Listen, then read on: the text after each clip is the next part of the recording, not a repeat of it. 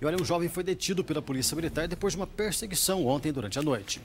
Um jovem de 18 anos de idade, sem identificação revelada pela polícia, acabou sendo encaminhado à central de flagrantes após empreender fuga com o seu veículo, um Corsa, desde a Avenida Valdemar Spranger à Avenida das Torres. O motorista não obedeceu a ordem dos policiais que pediram para que ele encostasse e abusou da velocidade, colocando em risco a vida de outras pessoas que trafegavam pela via.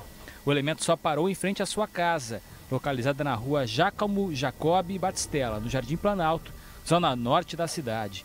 O veículo se encontrava em condições legais, documentação no nome do pai do garoto, que não possui habilitação, e foi encaminhado à delegacia para as devidas explicações.